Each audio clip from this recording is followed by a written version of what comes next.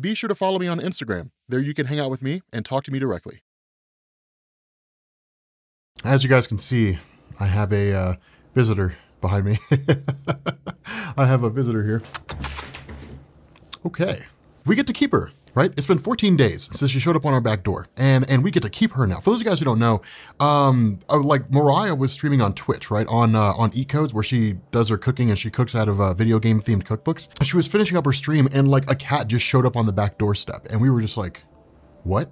And uh, and it was kind of crazy because it was like, okay, well this is this is pretty awesome. So we took it to the Humane Society and it wasn't microchipped, and they were like, well you have 14 days for the original owners to claim it, and if the original owners don't claim it, then it's yours. You, you can you can have it. And 14 days passed two days ago, I think. Actually, probably about four days ago. So like it's been about 18 days, so she's officially ours now, and she is a hellion.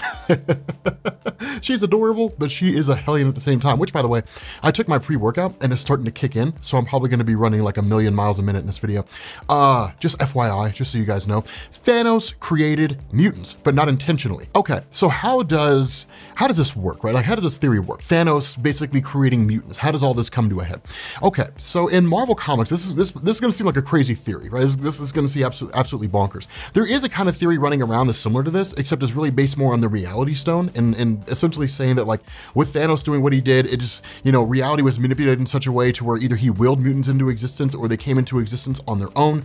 Uh, people just started developing X genes, different things like that. Like it just kind of modified their genes and, and sort of went forward from there. Um, this one's a little bit different, right? The idea behind this is that all this ties into the events of Operation Galactic Storm. So, uh, so, so what is this? What's what's Operation Galactic Storm? What's the basis behind this story? Well, as we know, in the Marvel Cinematic Universe, they love taking the idea of existing stories or names and then changing them into something else, but keeping the name the same, right? For example, the Russo brothers had made a statement at one point saying that there was no story in Marvel Comics called Endgame, right? That's not true. There's actually an X Factor story called Endgame where uh, X Factor and the Inhumans, I think, face off against the villain of Apocalypse, or the villain Apocalypse, in order to save the life of Nathan Summers, who goes on to become the character of Cable, right? So like, we know that story exists. And so just kind of applying that to an Avengers story and then going forward and calling it a day is what the Marvel Cinematic Universe likes to do. And so doing the same concept with Galactic Storm really makes sense. So Galactic Storm was a story that was written in Marvel Comics back in the day that centered on a war between the, the Kree race and the Shi'ar Empire. Now, you guys have heard of the Kree, right? You've seen Captain Marvel, you guys know what the Kree is. It's just a race out there that exists in the universe and has this great big huge expanding empire. The difference between the Shi'ar Empire and the Kree Empire or even the Skrull Empire is that the Shi'ar is not a singular race, right? It's a whole bunch of different races, all of whom swear allegiance to whoever's running the empire at the time.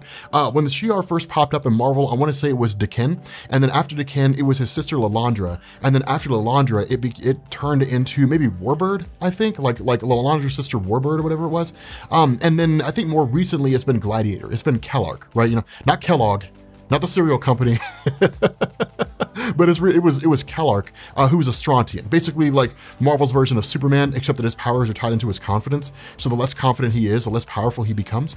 Uh, and so because of that, the Shi'ar really kind of stands alone in terms of the nature of its of its empire and how it functions. But the idea behind this was that at some point in the early days, or not really even in the early days, sometime in the past of the Kree Empire's existence, the Supreme Intelligence, which is kind of their religious leader slash you know combination of all the smartest minds that have ever existed in the Kree race, uh, had basically tasked one of their member to travel to a place called the Citadel of Light and Shadow. Now, the Citadel of Light and Shadow is home to a place called the Crystal of the Ultimate Vision. Sometimes it's called the Crystal of the Final Vision, but whatever it is, those individuals who were able to use the power of the crystal basically get like cosmic awareness and a vast amount of power, right? Like omnipotence, essentially. The idea behind this is you can't just walk in and take it, right? I mean, it's not a baseball sitting on the ground. You know, it's not like you go and you pick up the crystal and then horns blare and confetti falls and congratulations, you've achieved omnipotence. Have fun. It doesn't, it doesn't really work that way, right? That's not how the crystal works.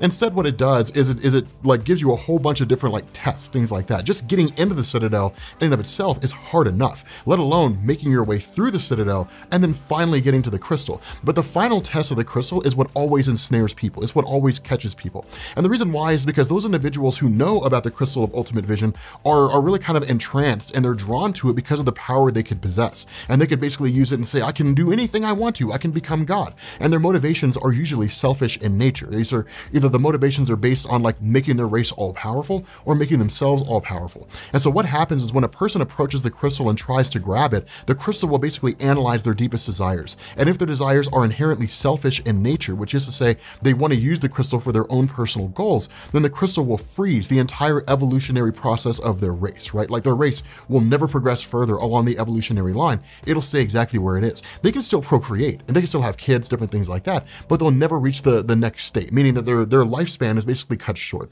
that eventually their entire race will die out before it should. Uh, those individuals who don't want to use the crystal for nefarious purposes, who don't want to use it for selfish purposes, who want to like help the universe or something along those lines, uh, ultimately they'd end up putting it back anyway, because it's just such an extreme amount of power, right? We saw that in the Uncanny X-Men story with Wolverine. When he got the crystal, he achieved like cosmic awareness. He was omnipotent for a short amount of time. And he's like, this is just too much power for one person to possess. I don't want this. And he ultimately put it back. Uh, ultimately, you know, when, when that happens, the crystal will kind of reward you of sorts with like, you know, cosmic awareness, uh, a short amount of omnipotence. And then of course it'll go back to, you know, being its being in its normal form.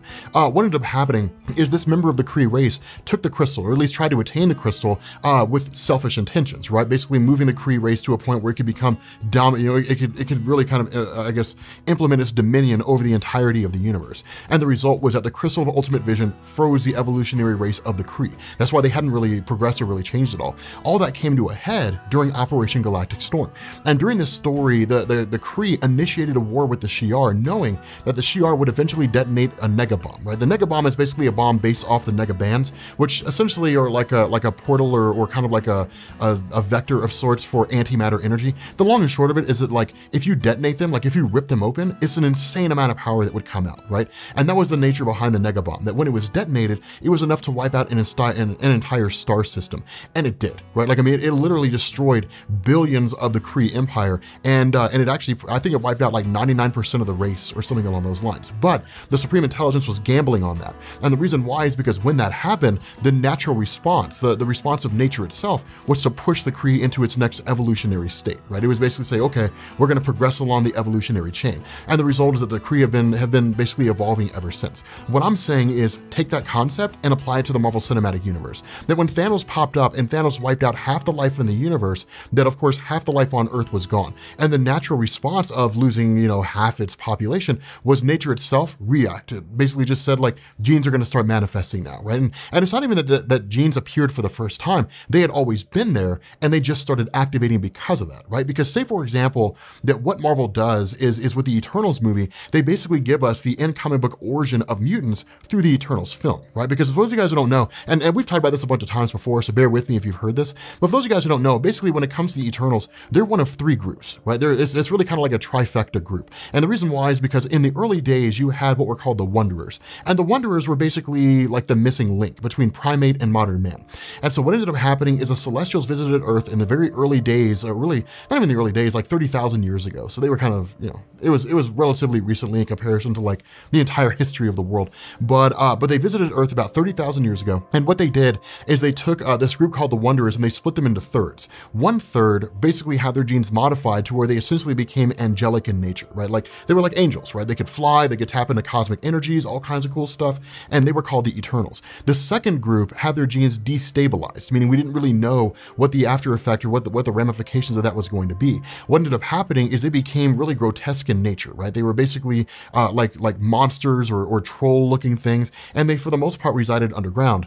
Uh, but they also had a half-life, meaning that every generation that came after lived shorter than the generation before it. had like a shorter lifespan than the generation before it. And then the third group had their genes modified so that somewhere along the line those genes would manifest, and then they would start developing powers, right? So it was basically an X gene, uh, which gave birth to to mutants. Now those those genetic modifications were also used to explain why it is a Bruce Banner became the Incredible Hulk instead of like a giant mass of tumors. You know, why it is that Steve Rogers was able to essentially be blasted with like radiation and given, uh, given, you know, the super soldier serum and become Captain America instead of like dying some horrendous death, you know, or something along those lines. And so uh, it was basically that these genes were modified in a way to where they would lend themselves to developing powers or develop powers outright through an X gene. And so what I'm saying is that if they decide to go with that in the Marvel Cinematic Universe, then what it means is that since the Celestials had arrived on Earth and since the creation of the Eternals, the creation of the Deviants, and the modification of, of baseline humans, these genes have been waiting to be activated is really all it is. Now you could go the Ultimate Universe route where, where it basically turns out that humans activate those those genes and the activation process is synthesized and is spread throughout the world and mutants pop up. Or they could go with this one in addition to a litany of others, but they could go with this one and basically say that when Thanos wiped out half the life in the universe, half the life on Earth was gone. And nature's reaction was to basically hit the panic button and say like, okay, push, and, and basically started activating all these genes. Uh, and in turn, like all these mutants started popping up all over the place. The question you have to ask here, and this is where things don't really make a whole lot of sense. The question you have to ask here is, is between the events of the end of Infinity War and the start of Avengers Endgame, we got five years. And so while we didn't really see a whole lot of what happened during that five year window, it was focused largely on the Avengers. The question is like, wouldn't we have seen some kind of reference to the fact that like mutants are among us or people with extraordinary abilities are popping up or something along those lines? They could not do that and just say like, that was all just focused on the Avengers. Now let's focus on that five year gap uh, that, that basically introduced uh, X-Men and mutants and so on, right? I mean, that's literally what you could do. You could do like an X-Men film and you could basically say X-Men 1 takes place in that five year window when half the life in the universe was wiped out, right? And like now that everybody's basically returned, uh, you know, half the population returns only to find out that like there's all these mutants around here now. And like nobody knows how to cope with them or anything along those lines. They're blamed for the fact that half the life in the universe was wiped out because, you know, I mean, a lot of people knew about Thanos, but they didn't really know the ins and outs of it in terms of like the Infinity Stones and all that kind of stuff. I mean, they kind of did, you know, as, as time went on, but, you know, they just referred to it as the blip. You know, even in Spider-Man Far From Home, the indications seemed to be that people didn't really know what it was that led to half the life in the or half the life on Earth being wiped out. They just know it got wiped out and then it came back, right? So if that's the case and, and most of humanity doesn't know what happened, then if mutants pop up, well, there's your reason for why humanity hates mutants because they believe the mutants were the ones who did it, right? Half the universe, half the life on, on the planet basically vanishes and then suddenly these people with superpowers start popping up. It's an easy scapegoat. So I don't know. I mean, there, there's a bunch of different options you can go with in terms of making this work and in terms of, of, of, of putting this concept to use. But I don't know. Let me know what you guys think. I'm kind of curious. You know, let me know what you guys think about this idea. Uh, if you guys are new here to Comics Explained, make sure you guys hit the sub button to become part of the Rob Corps. If you guys enjoyed this video, make sure you drop a like. And I will catch you all later. My pre-workout's kicking in. Peace. hmm.